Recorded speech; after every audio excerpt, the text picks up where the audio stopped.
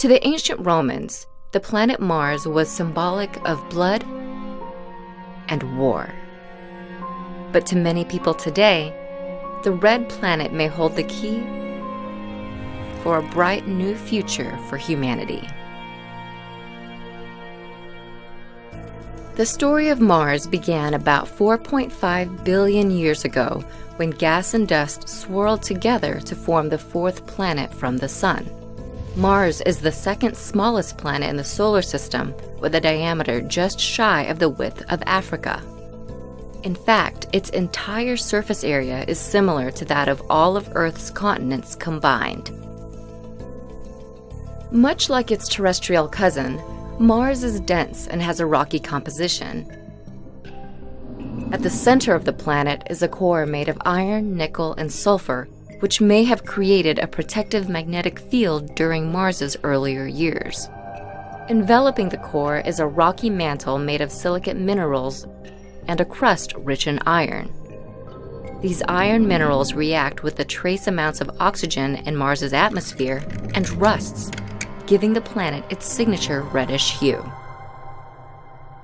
While its blood-like appearance inspired the ancient Romans to name Mars after their god of war, the planet's rusty color could be considered symbolic of the planet's prime days long past.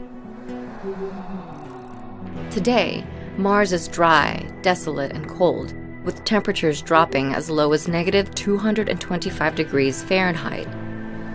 But billions of years ago, the planet was much warmer, more geologically active, and had a watery surface.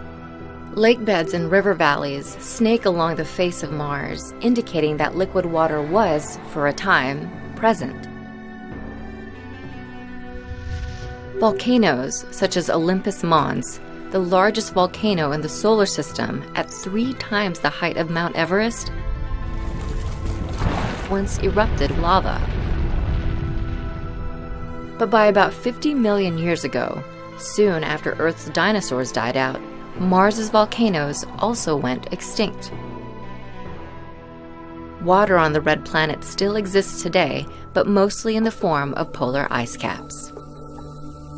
Because of factors such as the presence of water, some scientists believe life may have existed on the red planet and may exist again.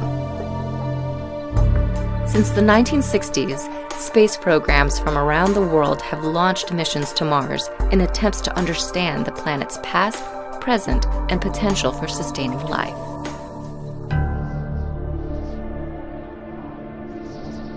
Life on another planet may well be out of reach for the near future.